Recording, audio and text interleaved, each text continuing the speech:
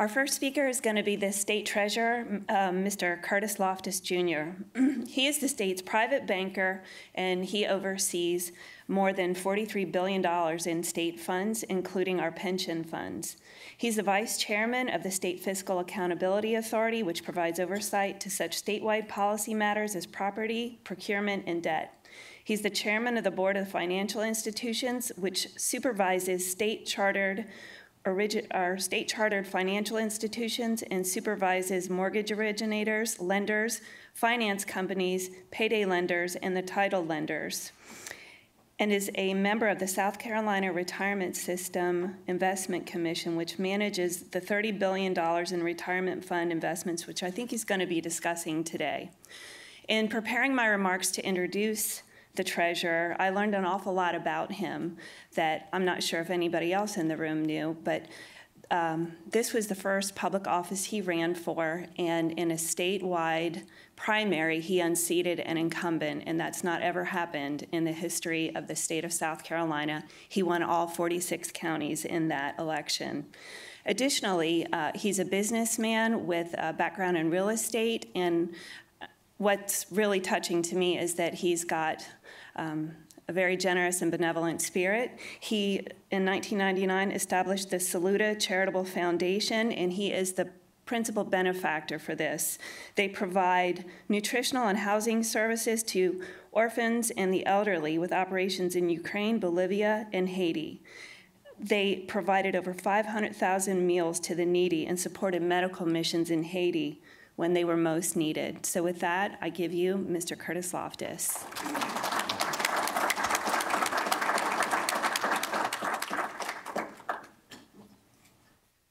He was going to give me a lavalier, but uh, because people like to walk around, I'm usually I like to hide behind something. And I prefer usually if it's metal or steel because sometimes I have people shooting at me.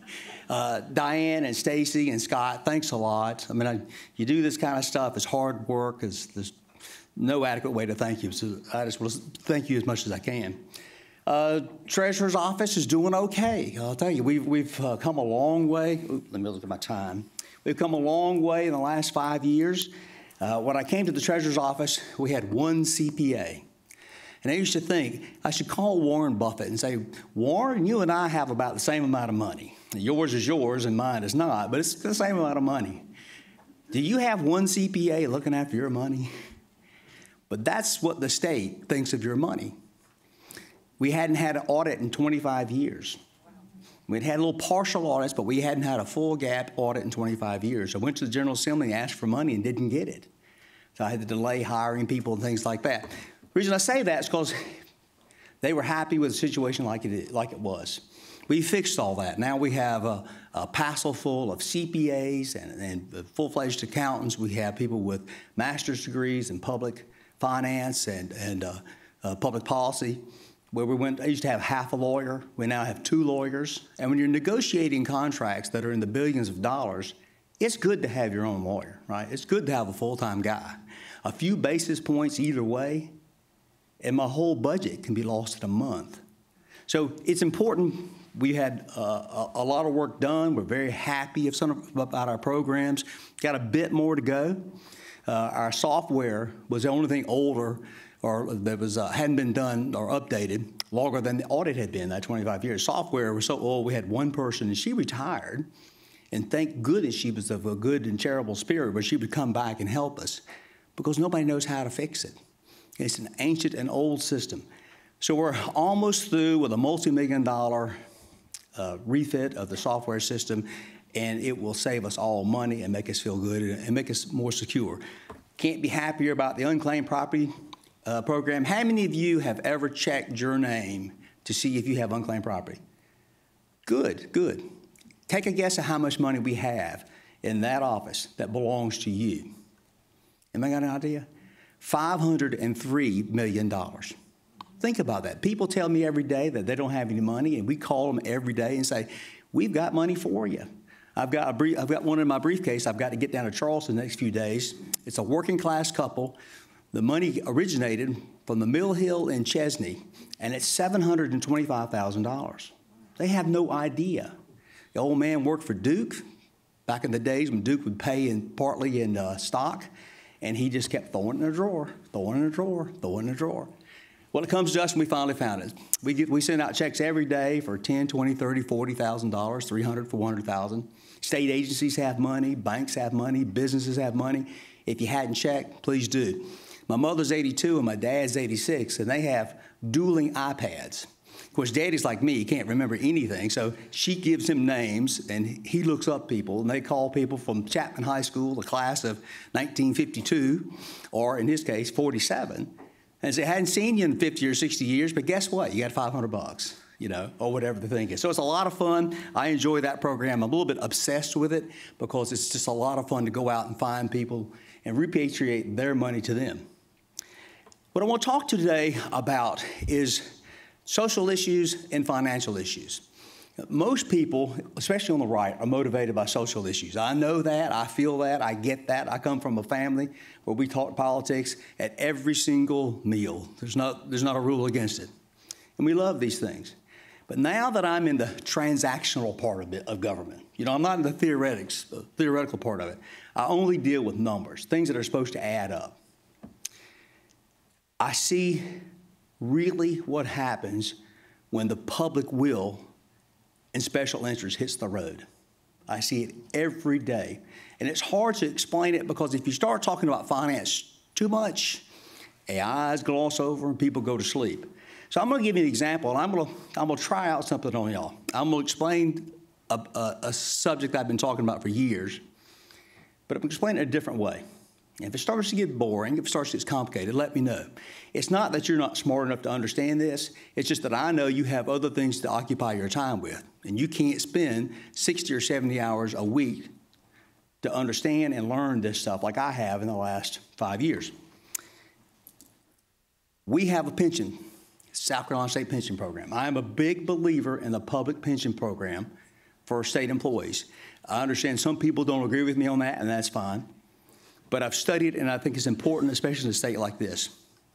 Every day that a state employee works, or a county employee, or university employee, teacher, fireman, every day they work, we put money in the bank, and then we pay them every two weeks.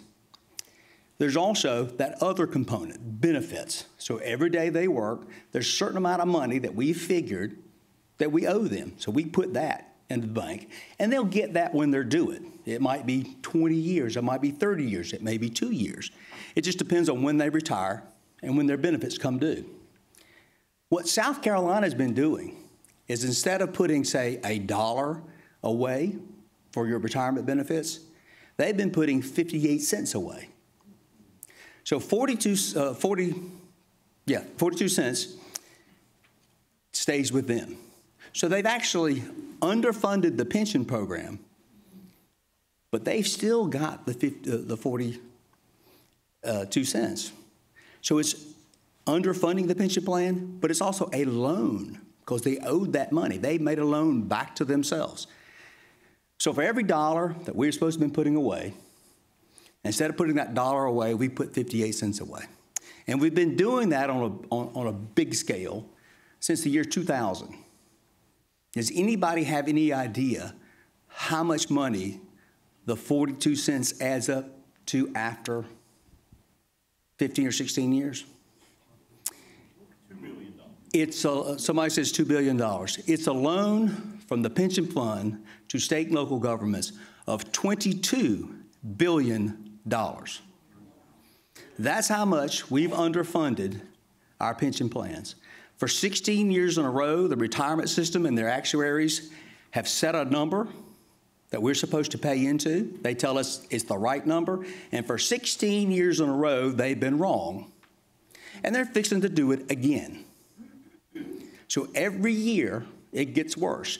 Where we used to underfund and the, and the pension would go up uh, the debt would go up a couple, three hundred million dollars.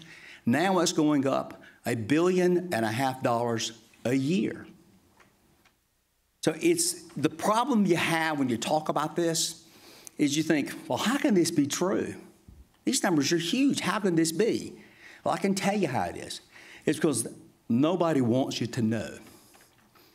And quite frankly, they've been beating the hell out of me because I want to tell you. But I'm on a mission, and I'm going to keep telling you. So what have we talked about? We've talked about every day that, you, that a government employee works, we have to pay them, and we have to reserve money. We haven't been reserving enough money, so that's to loan back to government, and government's been spending that money. They spend it on good things, I'm sure. Schools and roads, whatever it is they spend money on. Bad things too. Green Bean Museum, remember that? But a lot of the things they've been doing. But let's think about this in another context. Republicans in South Carolina, of which I'm a Republican and a conservative, we're proud of saying that we just don't raise state taxes. We have a low tax environment. Well, isn't a $22 billion loan a tax? You've got to pay it back. So we have to understand the context. That's what's been fueling a lot of what's going on. You've been hearing the numbers about the Department of Transportation. $400 million they're going to put to it. Well, guess where that money came from? It's from the underfunding of the pension plan. It's borrowed money. Now, I'm not going to try to explain this next thing. You just have to, have to take it on faith because if I get into it, the details. But when you borrow money from the pension plan, you borrow at a set rate, and that rate is 7.5%. If I go to the market tomorrow and, and issue uh, $300 million like we did just the other day, uh, we would pay anywhere between 3 and 3.5%. So, for the privilege of keeping this quiet, for the privilege of you guys and other people not understanding this, we pay an additional four points, four, uh, four percentage points. So, if you go and try to get a mortgage, I don't even know what mortgage rates are now, but if it's three and how many people in here would say, "Well, no, I'm not. I don't want to pay three and a half percent. I love to pay seven percent, seven and a half percent. Let me pay extra." We underfund the pension plan, and we do it on purpose and, it, and it's not going to stop. I fight them every day, but the seniority rules in the Senate are such that one person effectively decides what goes on there, and then everybody has a say. For the last four years, I've been traipsing around the state when I could, talking about this issue, and I wondered why does it really catch on? I mean, why aren't like cities mad about this? Why aren't counties mad about this? But I was talking to it from the pension standpoint. I was talking about pensioners and what it meant to them. But this is a the pension debt is a general obligation debt. It is our highest level of debt. If there was a war, famine, and depression all at once, this debt still has to be paid. It is the full faith and credit of the state. We have other types of debt revenue debt, uh, uh more than that, special district debt, all kinds of debt. This is the top debt. Now, we have other state general obligation debt. Anybody want to hazard a guess how much that is? Well, if you put it in perspective, $22 billion in retirement debt, we have $1.37 billion in all of the rest of the general obligation debt together. And that's a conservative number. That's a good number for a state like this. That's a nice number. But the reason we have it is because we stole the money on the other end. Take from one, give to the other. Of that one point, let's call it $1.4 billion, about $400 million is really university debt, and the university has very specific revenue streams. So while it's officially GO debt, you can really pull that out. So now you're down to less than $800 million in general obligation debt. And then we have one debt alone that nobody knows about, nobody will admit, doesn't show up in the paperwork where you can find it, and it's $22 billion. It's a problem. So how do we how do we fix this? Well, I've been beating my head against the wall forever. The, the problem is everybody wants that money. The counties, the cities, everybody wants to spend that money. But at some point, there's a reckoning. At some point, the numbers get so bad. At some point, the debt gets so large, it has to, something has to happen. I thought it would be this year. I've been quiet for about a year now, maybe six or eight months. I thought, well, surely they're going to have to act now. And boy, was I naive. I mean, I was so naive. They're not going to do anything. They're going to keep kicking the can down the road. Uh, the debt is financed for 30 years. That's by state law. It doesn't have to be financed at all. North Carolina is 96% paid. Their funding stream is 96%. We're about 56 or 7. And I don't trust those numbers. I think they're worse. So this is where we go. This is what I see every day. So what do you do about it? Well, one, you guys have to be active. We've got to find a way to get the grassroots interested in finance. Now, I know everybody says, well, I am interested in finance. I don't like taxes. No new taxes, right? Well, that's fine. But they've outsmarted you. They've outsmarted me. I've had my head down at my desk. That's why so many of you hadn't seen me. I see so many of my friends who supported me. I can't remember your name because I've been in that office. I've gained 55 pounds in five years. My hair's gone gray. And if I don't wear these little Kmart glasses, I can't see a thing and I blame it on this pension system. so we got to figure out how to get people involved. If you're the chairman of a local Republican Party, if you're the chairman of a Tea Party, you got to find a way to have an award for whoever does the most research and discussion, who brings in a material way, in a meaningful way to your party, how to learn about money. You've got to ask your local representative, your local uh, senator, you've got to ask your county manager and city manager ask them to come in and explain a specific topic. And I've got specific topics for you. But if you don't, you'll never get to the bottom of it.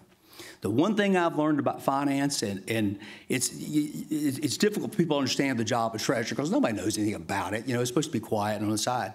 When you elect somebody treasurer, you in effect make them a billionaire.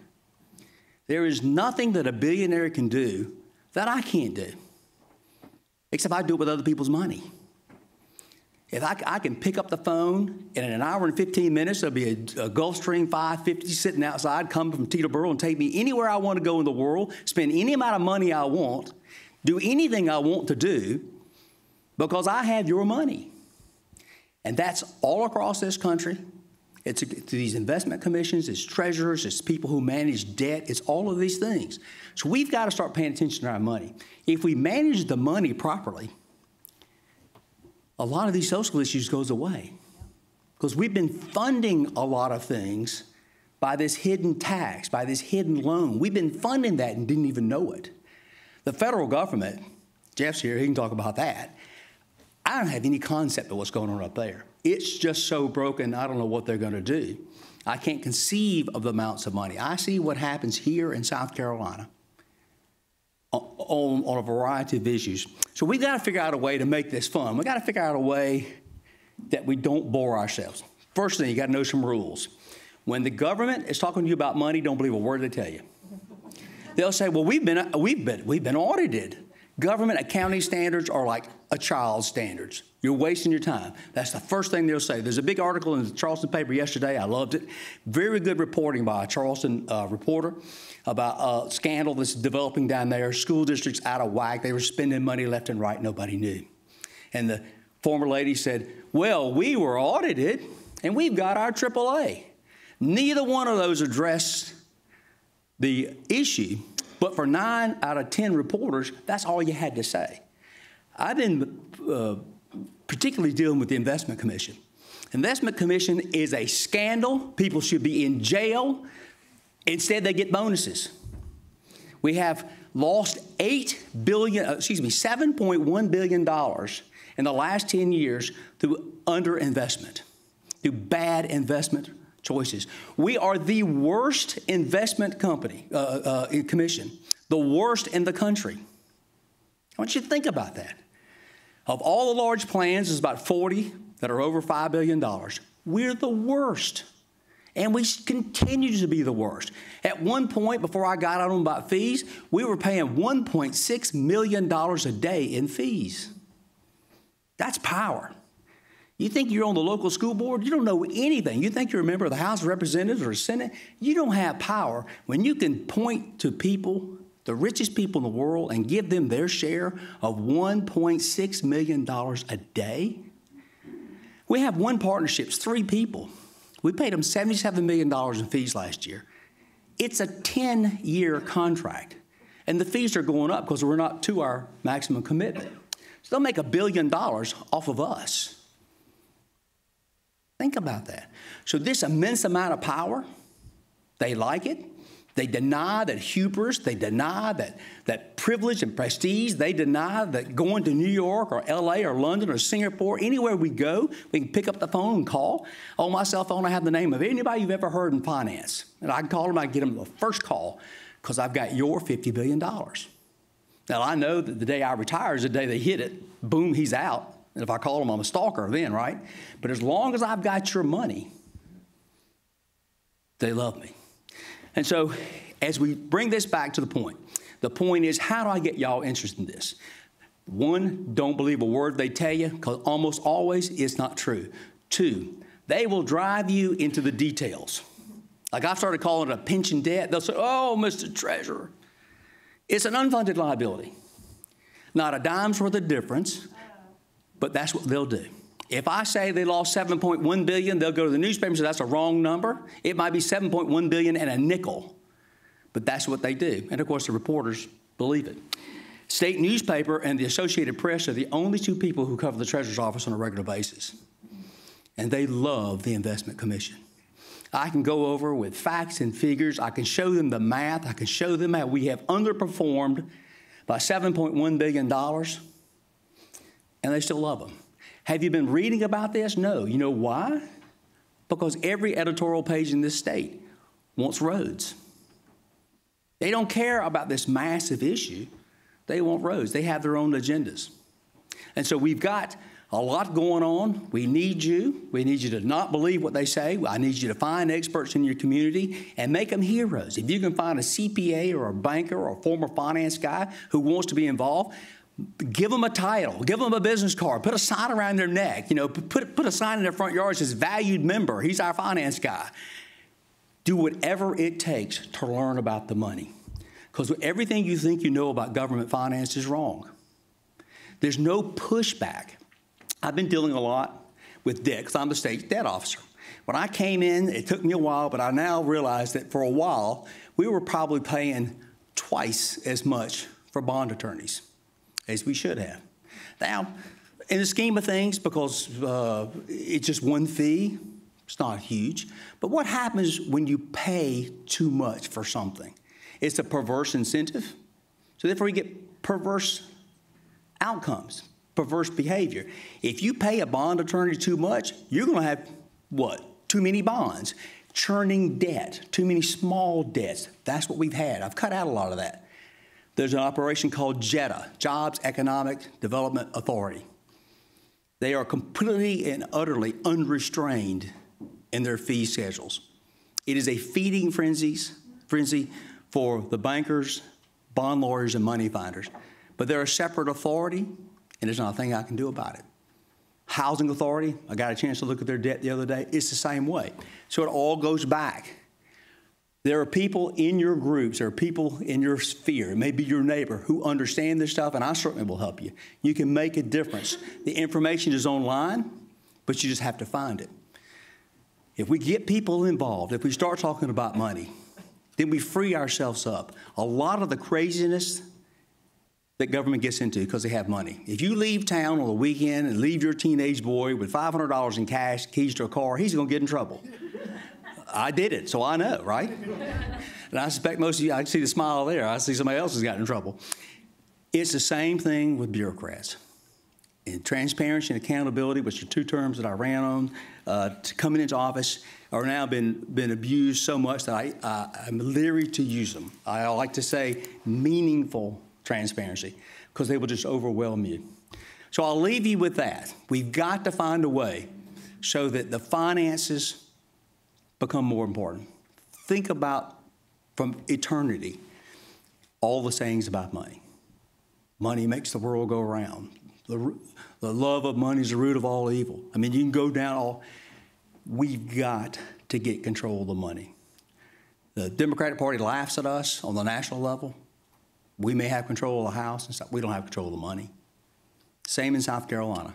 Between the RINOs, well, to be honest with you, I, I, we got to back that up some of my most fierce opponents on the money battle, especially the Investment Commission, are conservative senators. Democrats are my best. And why is that? If I go to the black caucus and talk to the black senators, if I go to the Democrat caucus, they can't be promised anything for a vote. But if you're a conservative senator, you can be promised a path to leadership. Before it's all over with, my friend, you will be running everything if you just vote my way.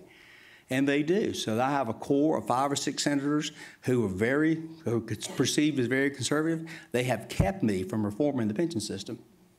Not much I can do about it, but lick my wounds and go home. But I'll go back the next day. So uh, I think my time is up, right? Uh, I'm not going to be able to stay for questions, so if anybody had an important question or one that just burning to ask, I'd be more than happy to that. Yes, sir. That last thing that you mentioned, the Republicans that, that are in the patronage and then stopping you from, from. Sure, I'll be more than happy to name names. Uh, The, and I'll tell you how bad it is. There's been a kangaroo court, a special committee, uh, uh, Senate has a special committee on the investments of the retirement system, co-chaired by Senator Lourie and Senator Bryant. Senator Lourie and Senator Bryant, Senator Lourie, of course, is a Democrat, Senator Bryant's not. They apologized to the Investment Commission because I was hard on them. Senator Bryant apologized to them.